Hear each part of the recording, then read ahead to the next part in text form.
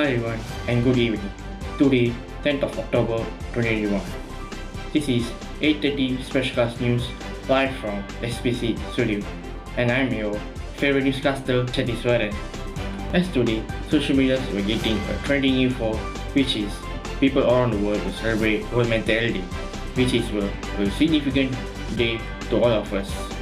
We all know that people around the world were getting uh, lockdown issues in their respective house and day by day the mental health cases were increasing enormously. In order that, let's hear some random comments from people out the streets how they react towards today's mental health celebration. Sunny Life it is our favorite news anchor, Brad. Brad, over to you. Alright, thanks Mr. Tis. As we all know, today we celebrate a most significant day which is World Mental Health Day, which we annually celebrate on 10th of October.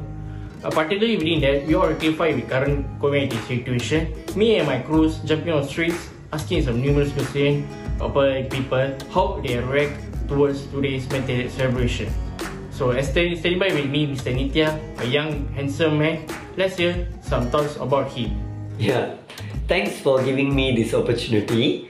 Well, I would say that this year, World Mental Health Day is an enormous day. We should celebrate it in conjunction to we all battling out with COVID-19 pandemic situation. We together keep stronger to face out those obstacles by physically and most importantly, mentally. Mental health is a vibrant feature to keep in a steady mode without stepping off into unwanted issues. As for me, we should keep celebrate it annually and not only annually but also as a daily activity. Wow, thanks for the wonderful and simplified answer, Mr. Nitya.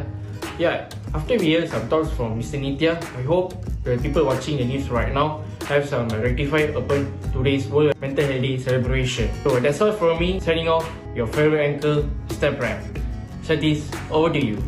Alright, thanks Brian. Seems that that's all for now. This is your favorite newscaster, Shathiswaran, all the way live from SBC News Studio, signing off. Thanks for watching and have a nice pleasant day. Don't forget to follow your SOPs and be stay safe. Good night.